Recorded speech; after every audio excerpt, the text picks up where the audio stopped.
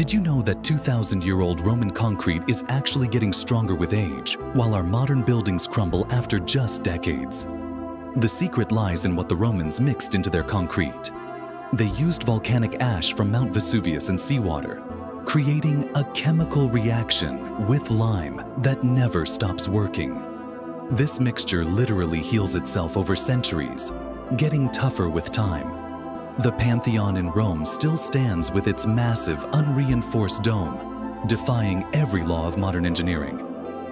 Underwater harbor structures at Portus have survived constant wave battering for two millennia. Meanwhile, our concrete highways crack and crumble within 30 years. Scientists only discovered this self-healing property recently using electron microscopy. They found the volcanic ash creates tiny crystals that fill cracks automatically.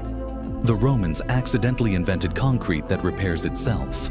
Now engineers are racing to recreate this ancient formula. This forgotten technology could revolutionize construction and create infrastructure that actually gets stronger during climate disasters. The ancients knew something we forgot.